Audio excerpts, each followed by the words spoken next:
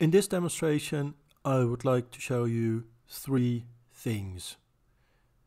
The first that I want to show you is just a little bit more about tree traversal.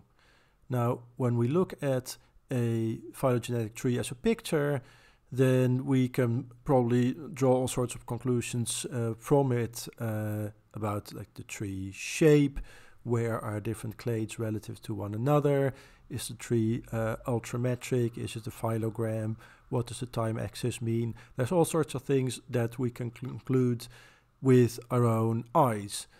But sometimes that is just not very fe feasible because maybe we're looking at a very, very big tree.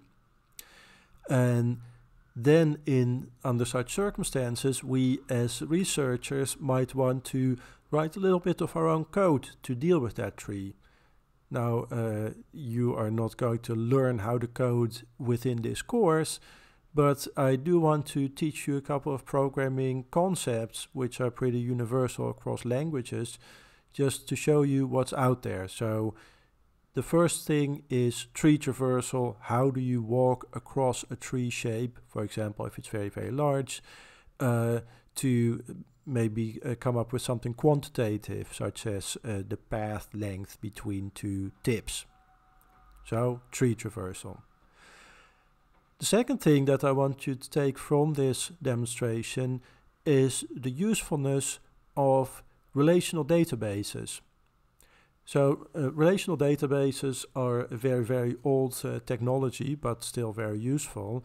And it uh, comes up in a couple of different contexts. So for example, when we were uh, doing the R refresher with the data carpentry, there was one section about using R with SQLite. Well, uh, I told you to skip it because it's not something that we are going to apply in the course, but it just goes to show that obviously uh, such databases are so useful that the uh, creators of that ecology course thought, well, you should probably know about SQLite, which is one of the relational databases. Uh, another context in which uh, relational databases come up is when we are using ArcGIS. There's a couple of operations, for example, where you do spatial joins on a GIS dataset, where what you are doing is actually operating on a relational database that's active under the hood of the ArcGIS interface. In my own research, I use uh, these relational databases very frequently. You have to think of these as basically sets of spreadsheets, but then on steroids. So, for example, I use these to import sets of uh, single nucleotide polymorphisms all across multiple genomes. So then you're talking about millions of different records, which of course Excel would never be able to deal with. But a relational database can work with that just fine. So this is useful technology which I want to show you. So second learning goal besides tree traversal is becoming aware of relational databases. The third goal is to do a little bit of an exercise with both of these concepts in uh, looking up the evolutionary distance between very far tips on a tree so we have our model organisms, right? Now these are actually a, from a bunch of different groups, uh, animals and plants and even fungi. But here we'll just look at plants. And what is the purpose here? Well, let's say you wanted to figure out how far apart some species are on the tree.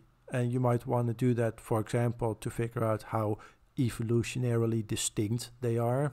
This is something that came up in the context of uh, the Colin Gross paper and uh, conservation priorities, so evolutionary distinctiveness. But uh, this also comes up within the context of functional diversity. And here the general idea is that the more evolutionarily distinct species are, on balance, it could be said that those are also functionally distinct. Now, that doesn't necessarily always hold true, but uh, branch lengths on a tree are in a number of contexts taken as a proxy for functional diversity. And so, for example, when we apply that to our uh, model organisms and then specifically to the plants, the crops, we would expect to see that the most evolutionarily distant and distinct species within the set are probably very, very different. It's probably not going to be two cereal grains, is it? So, tree traversal, relational databases, and an exercise in evolutionary distinctiveness. That's what we're looking at now. And we're going to look at it within the context of uh, some of my own work, uh, which is a, a, paper that I published uh, about a year ago here uh, that uh, kind of talks about uh, tree traversal and databases and how you can use these in kind of an optimal way. And we are going to apply some of those concepts. We're going to start out with a simple toy example, and for that we need to uh, download some data. So we can go to this address for DB tree and here there's a little directory structure with different files that we can click on and there's two files that we're going to want to have. One of them is called trivial.db which is a database file which we will deal with shortly. And here when I click on download, well, there we go. So that's downloaded. The other is a Newick tree, which is here in the same directory. And in this case, I named it trivial.newick. Uh, I guess we've already seen that uh, file extensions stand for nothing in phylogenetic data if they're all plain text files, and that's the case here as well. So there's the file trivial.newick, and what we are looking at here is the uh, text contents of that file. So you see it's a little Newick tree. Now what I can do is I can just copy the file contents and then I can have a look at what is actually to be seen uh, in that tree. Now there's a bunch of things that you can do. For example, you can uh, paste it into Fig tree, or here there's another neat uh, tool on the web uh, called uh, ET. Here you see uh, ET from the from the movie, and that is among many other things also a data viewer. So I paste the tree in here, and I can have a look. And well there's our tree. So it's a tree where we have a uh, well basically two clades the, an in group of A B C and D and out group of E and F here's another uh, tool that we're going to need and so let's go and download that and uh, that is uh, called either SQLite browser or uh, alternatively uh, DB browser for SQLite I think the authors had to change the name. I think it was used to be called SQLite browser, but then that was too closely associated with SQLite, and they're not actually the same initiative, so they had to change it. So now it's DB browser for SQLite. Okay. um, so what is this? Well, this is a little program that allows you to view the contents of a relational database um, and also to run queries on it. And in uh, one of the previous lectures, I alluded to the fact that any language that uh, runs queries on data sets to uh, retrieve bits of information out of it probably ends with a QL. And then I mentioned that for RDF, there's SPARQL, uh, S-P-A-R-Q-L. For relational databases, it's SQL or SQL. Uh, and so we are going to execute a little bit of SQL language, which we can just copy and paste. So not to worry. Uh, and we're going to download this tool. Uh, and it uh, is going to be a pain-free installer. Believe me, this is a very common tool, so the installer works just fine. Uh, if you're on Windows, you will probably want the uh, standard installer for 64-bit. Um, on uh, Mac, there's a uh, disk image with the tool. And if you're on Linux, there's a bunch of different flavors for the different package managers. And if you're on Linux, you probably know what to do. So maybe on Ubuntu, you would do something like this, right? Um, so let's uh, get the tool and install it. And uh, then we just have that set up for a little bit further down the line.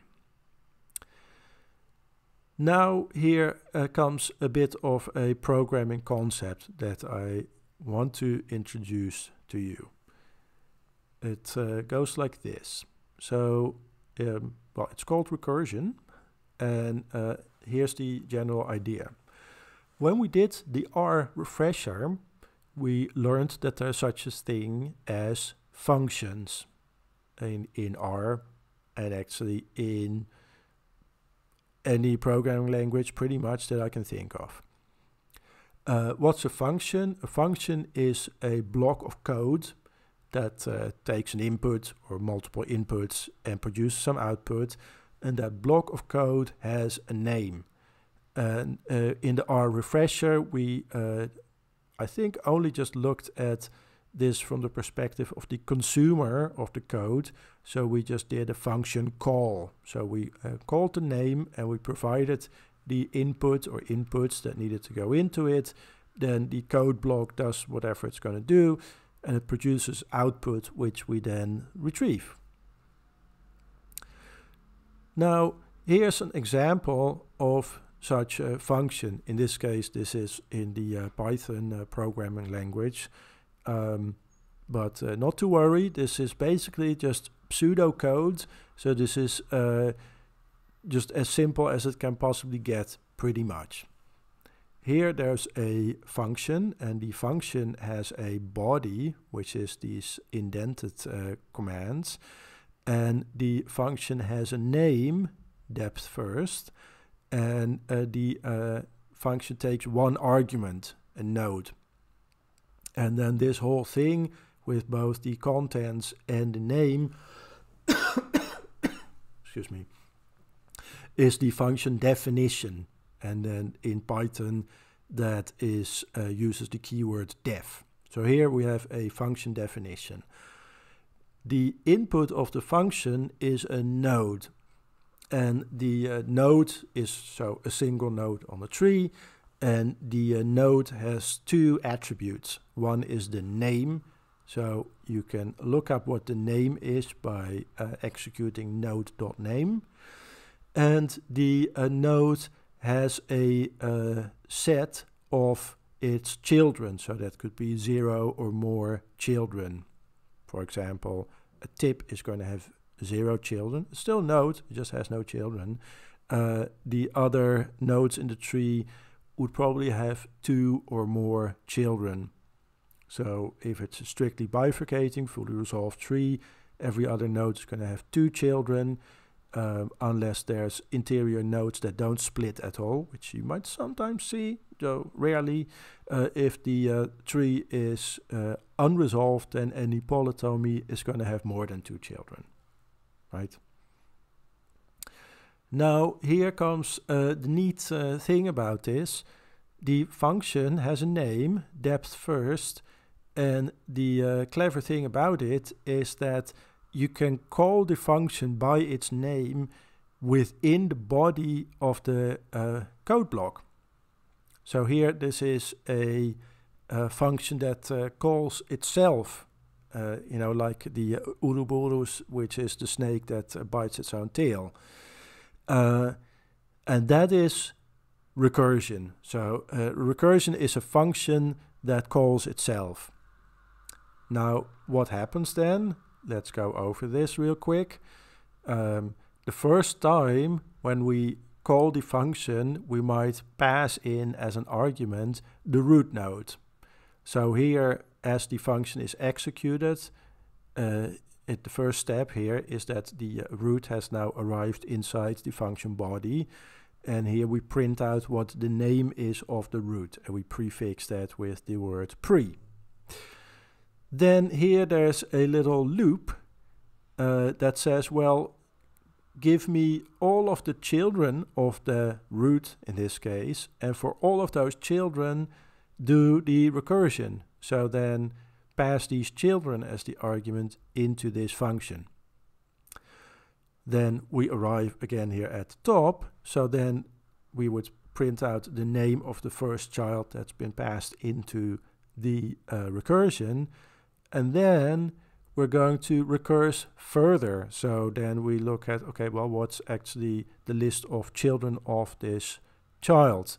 And then do the recursion on each one of those. So we would go from the root to the first child of the root, the first child of that child, and so on and so on, all the way to the tips. And only then we come to a point in the uh, code block where there are no children, and so then we can continue on to this part of the traversal where we now do the uh, post order traversal, which means that we now come at a part in the walk across the tree shape where we can go from the children, so in this case the tips, to their parents. So we walk back up in the tree. And this nature of the recursion where we go from the uh, root to the first child and then its child and then its child and so on and so on, that is called a depth first traversal because we first go deep, right? From the root, we go dive in deeply and uh, walk to the tips. Consider this tree shape, which we've seen a couple of times. So we have uh, two clades, A, B, C, D, and an outgroup, E. And now we do the depth first re recursion on that tree shape. So here's then how that goes. Well, we start at the root, which then prints out pre n4, so that's here. Then we go to the first child of that root, so that's n3 on the next line there. And then from there we go to n1, and then we go to a, and then we cannot go deeper because a does not have children. So then we go to b, and from there both of the children have been processed, so then we can continue on in the post order traversal where we then treat node B with the prefix post and then A. And then we operate on the second child of N3, which is N2. And then from N2, we go to C and D, and then we go back up D, C, back to N2. And then when that clade has been treated, we can come back here in the post order traversal, so the path back from the tips to the root to N1. And then finally we go to E, and then back to N3, right? We always visit tips before their parents where we go in the post order traversal, and then from N3 back to N4. So now we've walked across the tree in two directions from the root to the tips and from the tips to the root in a way that I'm sure is completely mind mind melting. Um, but this is one way in which you can visit all the nodes in the tree and you can decide how you want to visit them, going first to the children, going first to the parents. Uh, there's different contexts within which this is useful. So, for example, when we looked at the likelihood function, uh, there was a brief reference made to uh, the fact that the likelihood function is very, very costly. So it might be useful to try to cut some corners. And then uh, the uh, clever pruning algorithm of Joe Felsenstein does that by basically starting at the tips and kind of carrying forward part of the uh, intermediate results. Uh, and so that would mean doing this post order traversal from the tips to the root. Just as an example of uh, one of the applications of these types of traversals. So here's another one uh, on the same tree. Now imagine that the uh, nodes have slightly different behavior. Uh, so each node now doesn't have a list of its children, but it has a uh, reference to its first child, if it has any. So A doesn't have a first child, but N1 might have as its first child A, or N3 might have as its first child N1. Uh, and every node has a reference to its next sibling. So A is aware of B as a reference. This might seem really obscure and arcane. Uh, now, there is actually good reason for some of this. So, for example, uh, in the previous implementation where there was a list of children, uh, well, depending on whether the tree is fully resolved or not, if it is not fully resolved, then that list of children can be of variable size. And there are some programming languages where that's kind of an inconvenience if you don't know ahead of time how big that list is going to be. That's uh, when you have to pre-allocate memory, which is all kind of scary, uh, not something we're going to go into. But uh, long story short, this kind of uh, way of traversing a tree is not just uh, complete insanity, it's actually useful sometimes. Now here's one way in which you can then uh, navigate across that tree. So here we again have a recursion, but now we say, well, first we print out the node name in the pre-order traversal and here in the post. So you can see that again, this is at the top and the bottom of the code block. And then we say, well, if there is a sibling, uh, let's go and do the breadth first where we recurse with the sibling as the next argument. And if we have run out of siblings, well, then we move deeper to the uh, next level closer to the tips. So you can maybe understand intuitively why this is called breadth. So this is more broad, where we first go over everything that's at the same uh, level in distance from the uh, from the root, and only then do we move closer to the tips. And when we walk across this tree, you now see that we uh, visit the nodes in a different order. And just uh, keep in mind here N4 and 3E. So here we have N4 and 3. And uh, N, the node N3 and the node E are each other's siblings. Now that seems a little counterintuitive at first, but you have to remember, okay, this is basically just a node, except a node without any children and in terms of the number of nodes that separate them from the root, they are each other's siblings. This, this branch looks longer, but they are at the same number of internodes from the root, aren't they? So here we cross, we walk across the tree in a different order. We still can do the pre-ordering uh, where we visit uh, parents before their children and the post-order where we visit children before their parents. So with this implementation, you can also um, do, for example, that post-order traversal for the pruning algorithm. And I think this is actually how it is implemented in PHYLIP originally.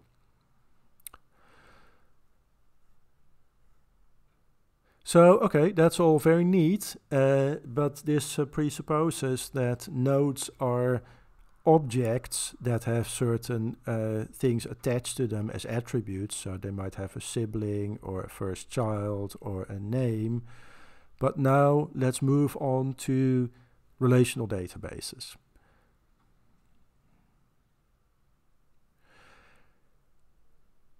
Here we have the same tree again, and now the trick is, well, can we perhaps describe that tree shape as a table? Well, actually, uh, we can. So now here we have a table that looks a bit like uh, a spreadsheet with three columns. Uh, so there is the column ID, which is a unique identifier for every node in the tree. Uh, in context of relational databases, that is sometimes called a primary key, but in this case, it's just ID, unique ID. For each of those nodes, uh, there is a name. So, for example, here, uh, uh node A, which is a terminal node, has uh, the name A, doesn't it? Then the column parent is a reference to an ID of another row in the table. So here the uh, parent of node A has ID 5, which is here uh, node N1. Right, you see? And a node one, N1 has a parent with ID 7, and that's node N3. And uh, N3 has a uh, parent with ID 9, and that's the root. And then uh, the root has no parent, obviously. So that's why this field here is empty.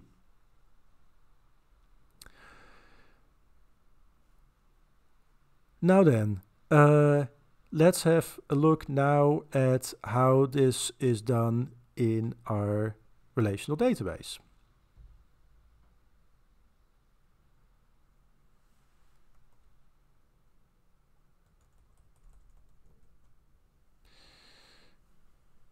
I have now opened the uh, trivial.db file in SQLite browser and we are now looking at the table node.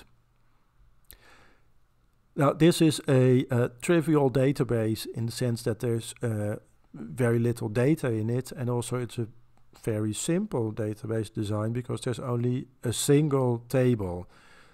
Uh, now that might not necessarily be the case under different circumstances. So for example, Treebase that uh, database that is kind of like the GenBank for phylogenetic trees.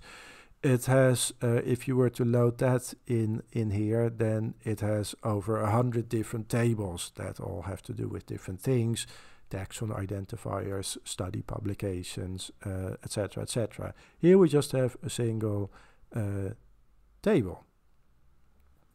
And in this table, we have the uh, columns that we just looked at, the identifier, the name, the parent. We also have the branch length. Uh, so these are some values, uh, uh, 0, 1, 2, or 3. And we also have a uh, height. So the height is how far above the root we are.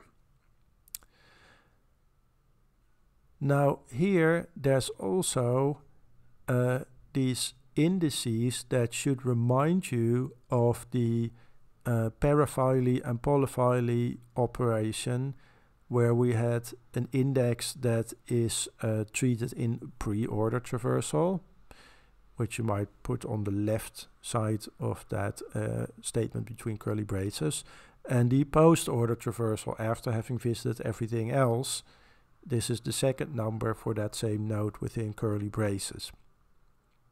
So these are the different columns in our little table. Now let's go and play with it a little bit. Okay. Let's see what happens. The following. So for example, let's figure out for a node that has the name N3, well, what is the name of the parent?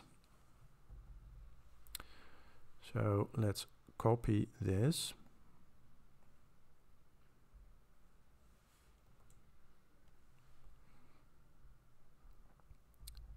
I'll uh, paste this statement in here.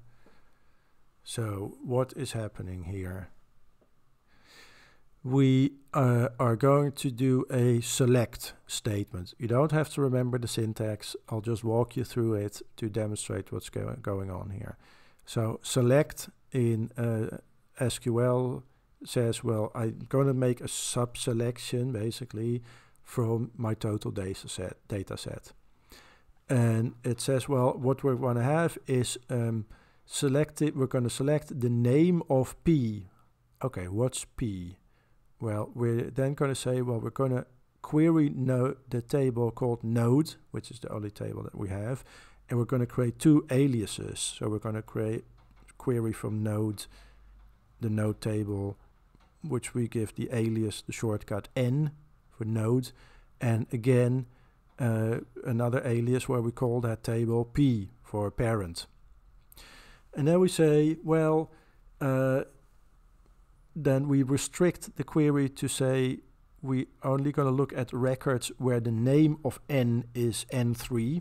So that's just one row in our table. And for n3, then if once we've matched that, we then want to look up what the parent ID is of n, and then our result for p must match that. So the parent ID, that number must be the same as the field parent for the focal node. And we run that, and then we get as a result node n5. So now, does that make sense? We have node n3. Uh, so here we have node n3. Okay, and for that node, we look uh, what is its parent. Well, the parent is has the ID 2 in this column, so that must correspond to uh, some value in the ID column, and obviously that's then this one, and for that we want to have the name. So the name of the parent of N3 is N5. Neato. Similarly, we can also select the children in the tree. So now we move across the tree not from tips to root or from child to parent, but in the opposite direction. Let's do that. So here we are going to select the name of something called C and then again we make two aliases so we look in the node table we we're going to call that table n and we're going to call that table c and then we say well for n if it's called n3 we now want to see which of the records in node in table C have the ID of n3 as their parent right so going in the opposite direction. So then we had uh, two results, uh, N2 and uh, D. So does that make sense? We have our node N3 and it has as its ID 3.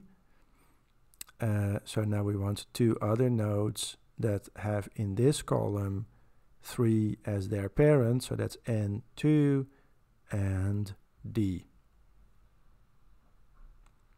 All right, so we can go in multiple directions across our tree shape. How about, for example, we want to know what the siblings are of node N3.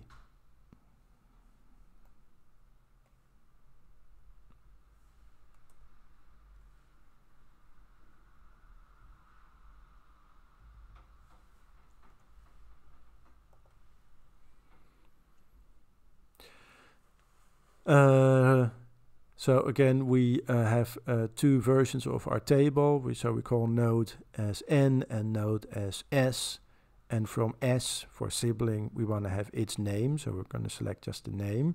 And then we say, well, if n is called n3, and n has a parent ID, then s needs to have that same parent ID, and s must not have the name n3. So I want the sibling and not also myself, not get myself back. Okay, run that, and that's N4. So basically it just says, well, they need to have the same parent ID. So N3 has a parent 2. Does anyone else have a parent 2? Yes, here. So N4 and N3 are each other's siblings.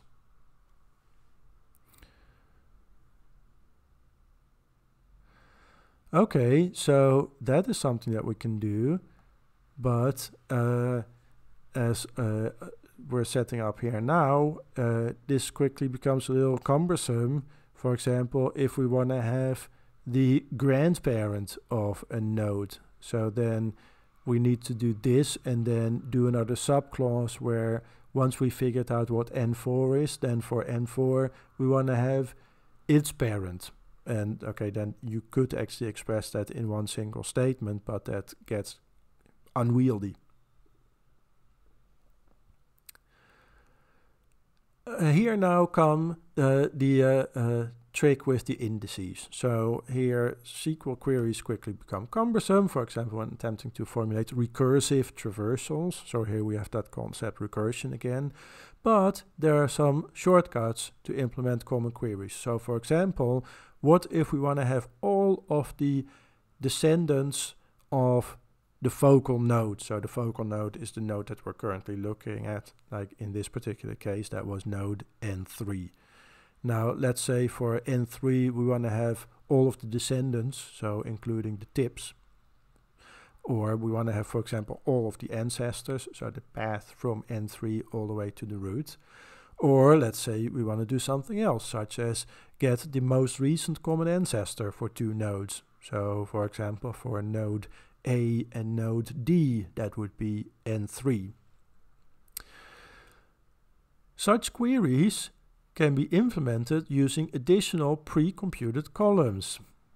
Here come our indices. Here left is an integer that was incremented and assigned to the focal node in pre-order during a depth first traversal. We just saw what that is, kind of. And right was incremented and assigned post order. So incremented just means it's a counter that every step adds one. So one, two, three, four, five, that's an incrementing counter. And here these indices have been assigned. So here's our table. Now let's select the descendants of N3. So who is all a child of N3?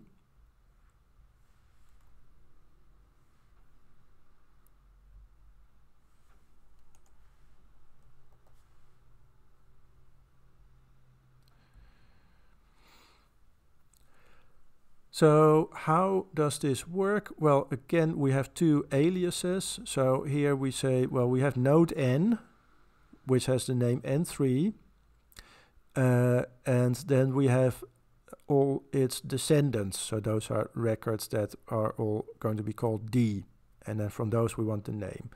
Okay, and then we say, well, all these descendants must have a left index that is going to be larger than the left index of our focal node N3 and they have a right index that has to be smaller than the focal node.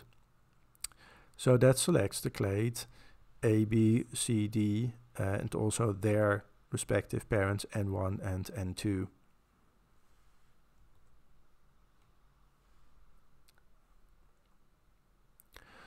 Or how about if we want to select the ancestors or ancestor of N3?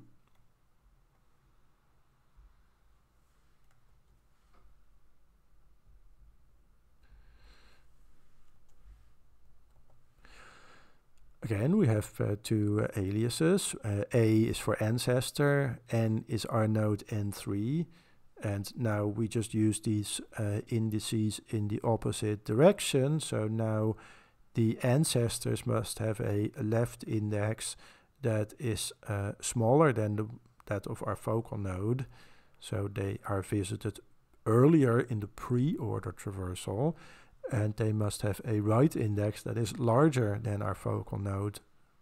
So that is in the post-order traversal and uh, we execute that. Turns out there's only one node to which that applies, node N5.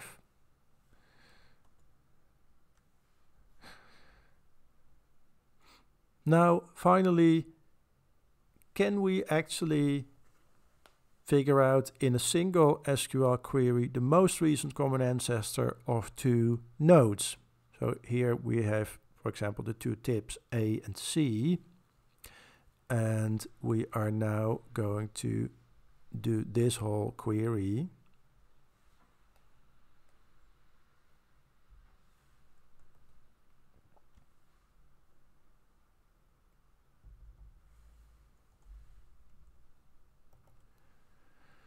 So what is happening here? Um, this is still basically a single line, except I uh, indented it you can see that it's a single line because only at the end there's the semicolon, which is the magic character for end of line.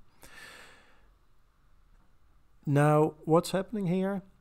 Um, well, there is uh, now three aliases. We have uh, that we use the table node three times. One where we look for uh, the node called A, one for the node called C, and we're going to look for the most recent common ancestor.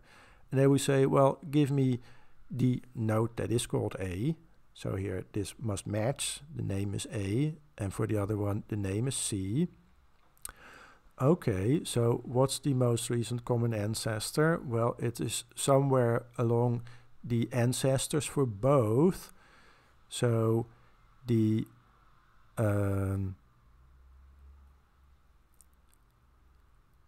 oh, I think there's a typo here. Huh.